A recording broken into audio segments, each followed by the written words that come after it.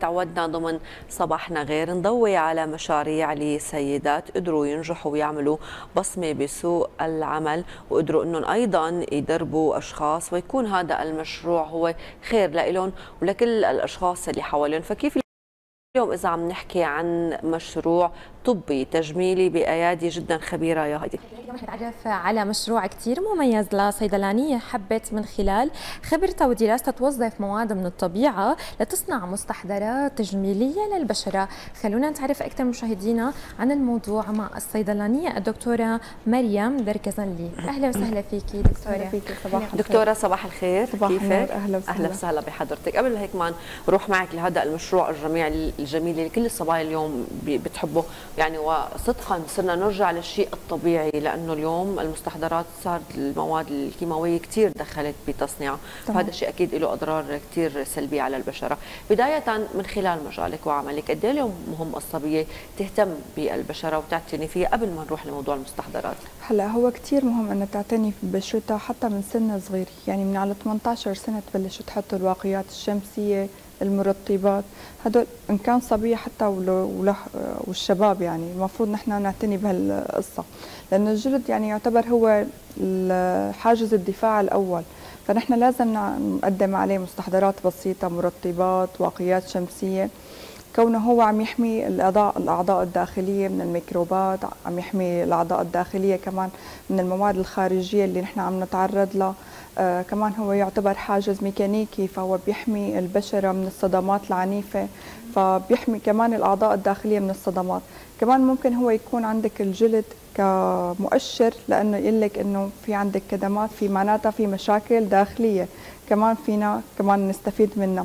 فبعد هدول يعني الأهمية اللي للجلد المفروض نحن نعتني فيه أصلا من نحن وصغار يعني من 18 سنة يفضل يعني. مشروعك اللي عم تشتغلي عليه من ايمتى بلشتي؟ هلا أنا بلشت فيه تقريبا يعني من أربع سنين على الضبط. هون كان أول مستحضر اللي أنا صنعته. كان عبارة عن كريم ليلي. طبعا أنا بخلال دراستي بالجامعة كان في مادة عقاقير. هي عبارة عن دراسة للنباتات والمواد الفعالة اللي موجودة فيها. فحسيت إنه أنا بحب هاي الاستخلاصات الطبيعية. هلا بال brand أصلا أنا استخدمت إنه أعتمد على حالي كمان أقدر أستخلص المواد الزيوت الخلاصات مائيه خلاصات كحولية. بال... كمان بالسنة الثالثة كانت عندنا مواد صيدلانيات. كمان بنقدر نحن نحضر فيها الكريمات السبلاشات هدول كلياتهم. فدمجت الموضوعين مع بعض. خلاصات نباتية مع كريمات. كان أول مستحضر إلي هو الكريم الليلي وقتها أنا بلشت فيه. طبعا عدلت عليه.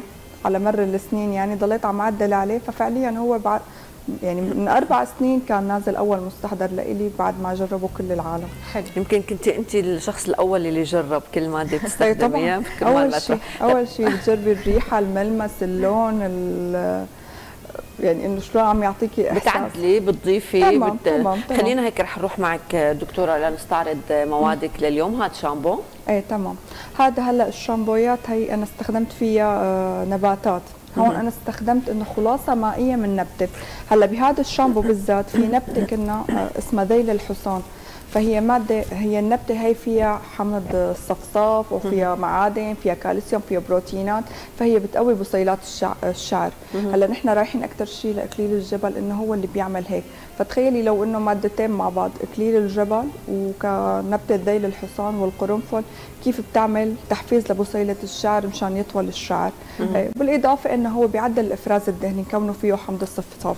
تمام. آه شوفي هايدي اليوم عم يعني ما نولزج نحن متعودين على الشامبو إنه هو طبعا. مادة سميكة صحيح. يعني تمام. خفيف كأنه. خفيف. بس تمام. نتيجته نحن يعني بدنا نروح للنتيجة. هل عم يعطي نفس النظافة للشعر نفس هلا دائما بتركيبة الشامبويات لازم يكون في مادة منظفة مادة معززة للرغوة ومواد مغذية. فالمادة المنظفة موجودة. طبعا أنا هون في عندك أنت خيارات كثيرة فيها تكون فيها Texapon يعني المادة هي كثير شديدة التنظيف وهي طبعا مضرة للشعر. فيا بتعدلي بالتراكيز فيها يا إما ممكن تضيفي مواد ثانية مثل ال glucoside. فأنا ضفت هيك وهيك مادة بتنظف وبنفس الوقت هي فيها خلاصات نباتية تغذي الشعر. آه هلأ بالشامبو الثاني كمان كان فيه بذور الكتان. نحن بنعرف إنه هو عبارة عن بس تستخلصيه بيطلع معك مادة هلامية. صح. هي عبارة عن أحماض أمينية وبروتينات. مفيدة وبتطول الشعر. فهي لا هي بترطب الشعر. نحن دائما بننسى هي قصة ترطيب الشعر. صحيح. يعني لأنه شعرك أنت عم بيتعرض للسشوار للغبرة للعوامل الخارجية البرانيه فبضله بينشف فقصة الترطيب نحن هي تقريبا نسيانيها يا إما ما بتحط سيرومات أو كريمات. الشعر في موجود. هلا هو كلبان كعفوا بذور الكتان هو, هو بيرطب. في أنا عندي سيرومات في عندي كريمات بس ما قدرت أجيب كل شيء يعني. خلينا نرجع شوي للبشرة. ويمكن اليوم عندنا أنواع عديده للبشرة إن كانت الجافة أو الحساسة أو المختلطة. اليوم طرق العناية بكل نوع من أنواع البشرة كيف بتم؟ إي هلا أنا بس بدي أصلح شغلة معلش تفضلي. أنواع البشرة هن جافة وعادية. دهنيه ومختلطة أه. الحساسة هي صفة اكتسبتها مع الوقت صحيح. تمام ممكن تكون عندك دهنيه وحساسة ممكن تكون عندك جافة وحساسة تمام؟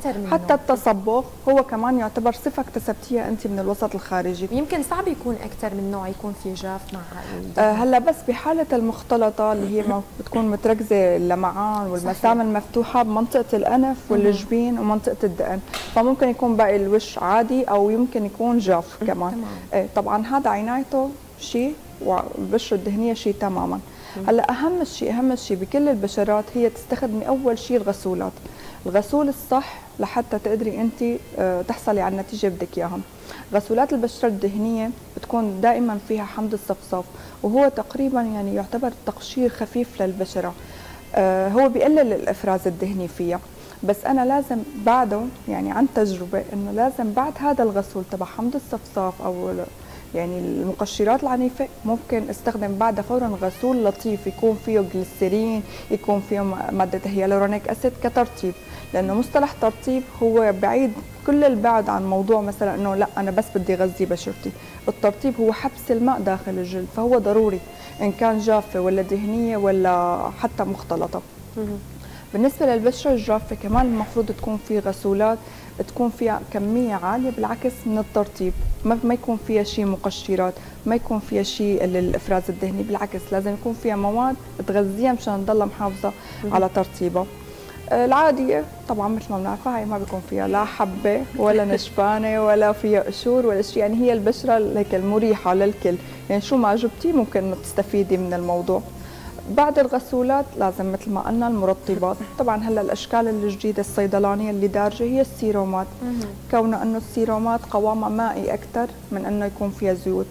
أو بيكون فيها زيوت بس بنسبة خفيفة. وطبعا الزيوت الخفيفة مثل زيت اللوز زيت جوجوبا زيت ورد هدول المفيدين للبشرة وخفيفين على الوجه باقي الزيوت لا ينصح إنه تنحط مباشرة على الوجه ممكن تعمل يعني أذية. ممكن تكون حادة كثير على بشرة الوجه حتى وقت اللي كنا عم نحكي كمان على اكليل الجبل كمان ما بيصير نحن نحطه نعم. أكثر من ربع ساعة على الشعر. المفروض فورا ينغسل. في في زيوت حارة لأنه في زيوت باردة. قد إيه اليوم الصبيب بده يكون عندها ثقافة بهي القصة؟ يعني تقدر تحدد هي شو بحاجة بالضبط. ذكرتي اليوم الغسول وهو يعني كل صبيه عم تستخدمه يوميا إن كان غسول إن كان صابون إن كان مهم شيء ينظف بشرتها من المكياج ومن الغبار وإلى آخره. ولكن اليوم عالم التسويق مليء دكتورة يعني والعروض كثير يعني ممكن يلفت نظر الصبية إعلان يعني ميديا. بالنهاية لعبة ميديا يعني أو حدا يقول لها اليوم وقت نحن بدنا ننتقي هذا المنتج شو أهم شيء مفروض آه، نتأكد إنه موجود ضمنه؟ نحن ما بنعرفه يعني. طبعا. هلأ في عنا مشكلة إنه ما حدا بيقرأ المكونات. تمام؟ أنت لما بدك تشتري أنت عرفانة بشرتك جافة. فأنا لازم يكون المكون اللي موجود فيها مرطبات. وأرخص مرطب هو جليسرين بي 5 يكون فيه هيالورونيك أسيد. أنت ما تكون بشرتك دهنيه بده يكون فيها حمض صفصاف مثل ما قلنا المفروض موجود فيها هلأ أحيانا إذا أنت ما بدك أنت مالك حافظه كل هدول التركيبات آه، الشكل الصيدلاني تبع المنتج تبع نعم. الغسول لما بيكون غسول جيل فهو أكيد حينشف البشرة فهو صح. حيصلح للدهنيه أكثر لما حيكون قوامه فوم واللي هلأ دارج كثير فهو خفيف حيناسب البشرات الحساسة وهو هلأ أغلب العالم كلها صار عندها بشره حساسة كونه نحن ما عم نعرف نستخدم مستحضرات عم يعني في تخبيص يعني شوي شوي. خصوصا نحن يوميا يعني أيوة يوميا الميك أب. بيتركوا كمان حتى بالليل أنت ما عم ما عم ينضف 100% آه، الكريم الأساس هلا. بجلسات تنظيف البشرة بتلاقيه على المرحلة الثانية والثالثة لسه عم بيطلع معك fond وأنت عم عم تطلعي فيه. تمام. كل هالغسيل على الفاضي اليومي اللي عم نعمله. لا مو غسيل على الفاضي بس مثل ما قلت لك كونه انت إذا عم تحطي make up طول نهارك يفضل المساء تستخدمي نوعين غسول.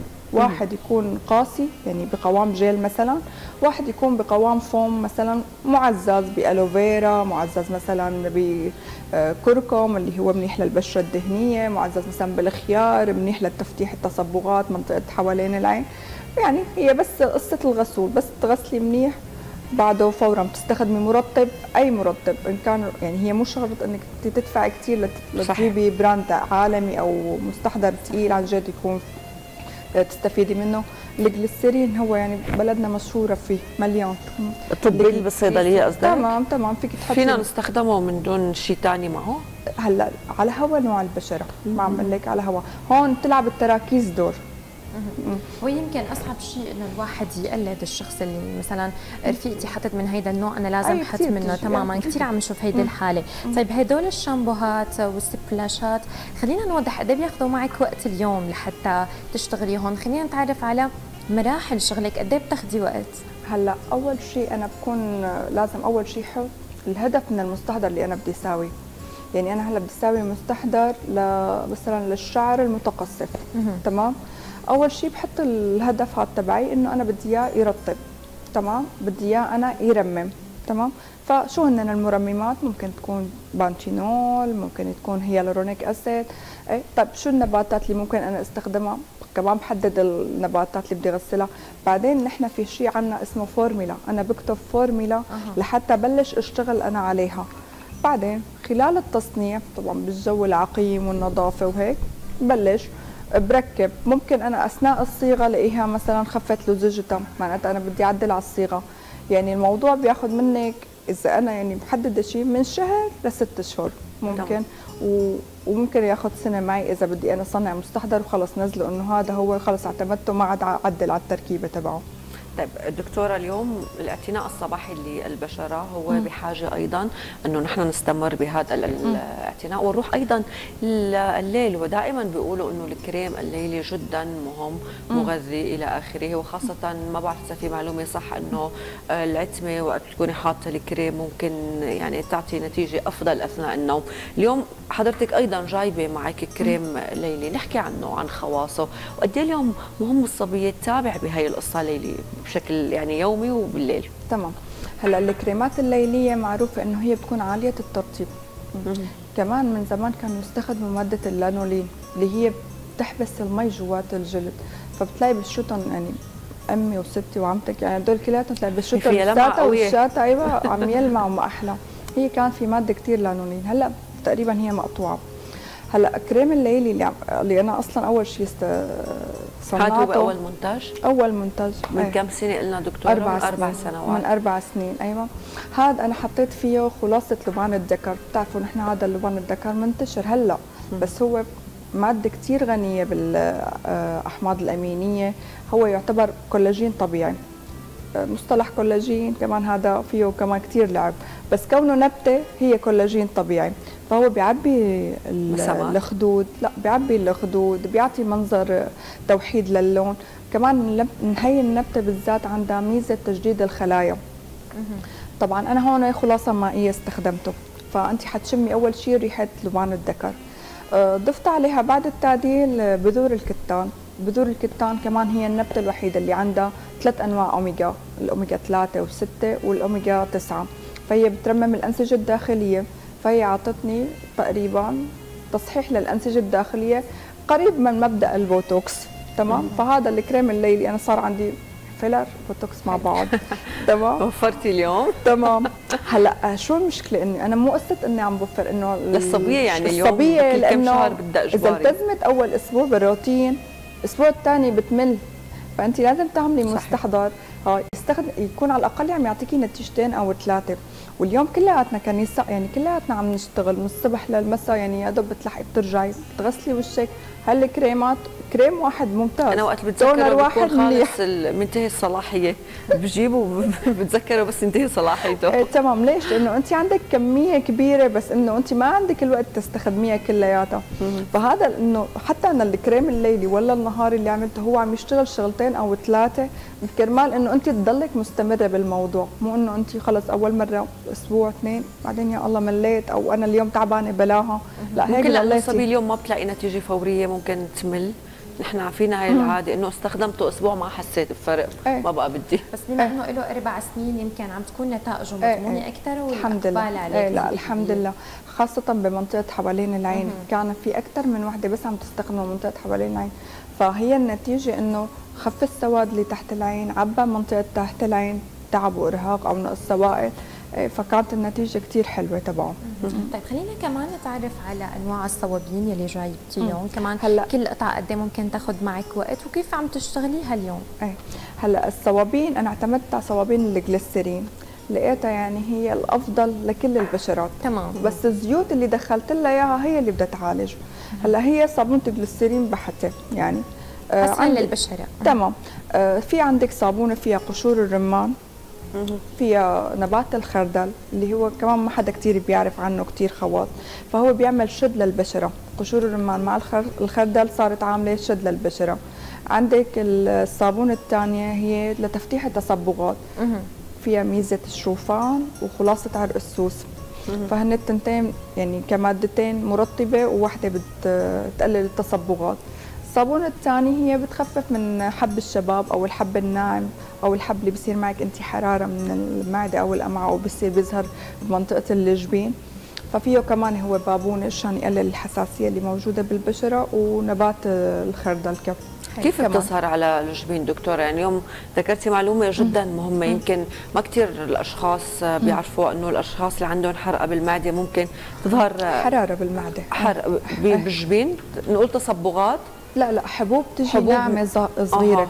ممكن هي. تتميز عن حاله ثانية إنه ما يكون تعب بالبشره أو هيك؟ نعرف إنه اليوم في حالة مرضية قصدي؟ هلأ هي بتكون متوزعة قريبة من خط الشعر تقريبا.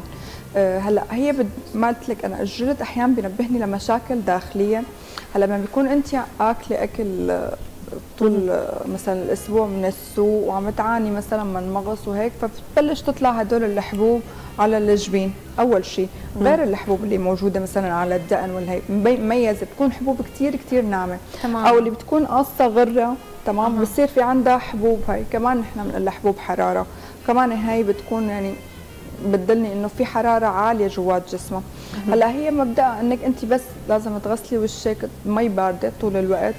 بدك خافض حرارة فموي يعني تمام. لازم يتاخذ أو صوابين الجليسرين كثير مفيدة بهالقصة. تمام. كمان في حبوب اللي بتطلع أحيانا بالوجه في حبة التوتر.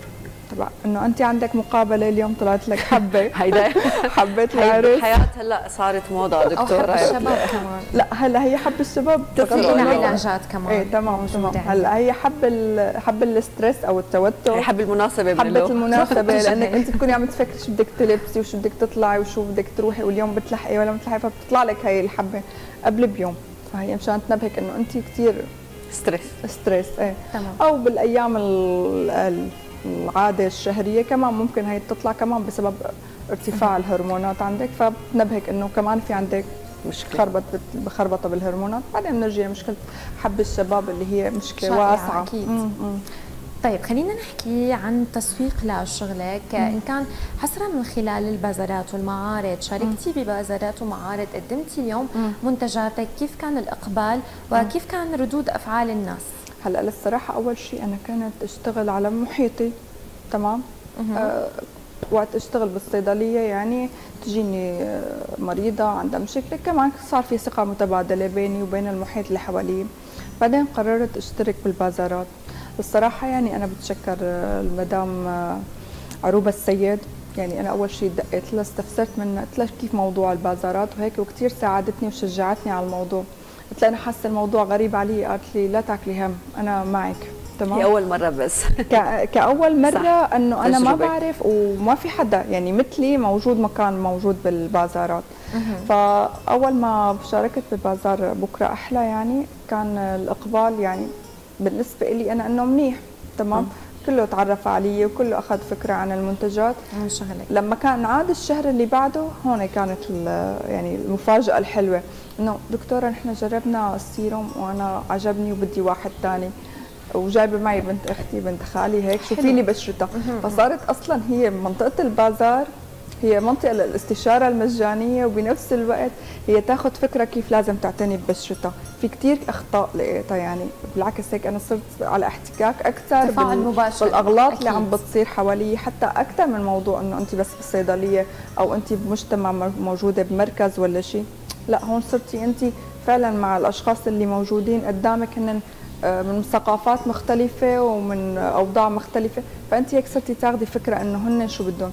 حتى بعدين بعد كذا شهر بلشوا يقترحوا علي دكتورة في مجال تعملي لنا مثلا معطرات للشعر؟ فكرة معطر الشعر أول شيء أنا ما كانت خاطرة ببالي يعني إنه العطورات كلها ماني مدخلتها كنت موضوع التجميل. فكان وقت الدنيا صيف. فاول فكرة خطرت ببالي إنه لازم ما يكون فيه كحول. تمام؟ طيب أنا كمان اكثريه السيدات بتنزل على المسابح وبتطلع بتعرفي في كلور وشمس صار في إكسدة قصف الشعر. لهي التفاصيل. تمام تمام. صح. فأنا حطيت ضمن ال hair mist أو معطر الشعر هو إنه يكون خلاصة ماء الورد معمول مضاف مضاف عليه كمان عطورات ضفت عليه بانتينول اللي هو مرمم للشعر مشان إذا انت أصلا شعرك متضرر. وضفت عليه فيتامين إي كمضاد أكسدة. فانت هيك صرتي هي البخة الوحدة هي عم ترمم وتحمي وبنفس الوقت عم تعطر الشعر. طبعا صار هو يستخدموه كمان الأطفال أكثر على أولادهم. كونه ما فيه كحول وما فيه شيء يأذي. تمام. دائما العودة للطبيعة دكتوره مثل دائما نقول هو الأفضل. يعني بدنا نشكر حضورك لليوم نتمنى لك التوفيق بهذا المشروع الجميل. تمام. وهيك نشوفك ببازارات ومعارض نشوف دول المنتجات الجميلة. شكرا دكتورة لحضرتك.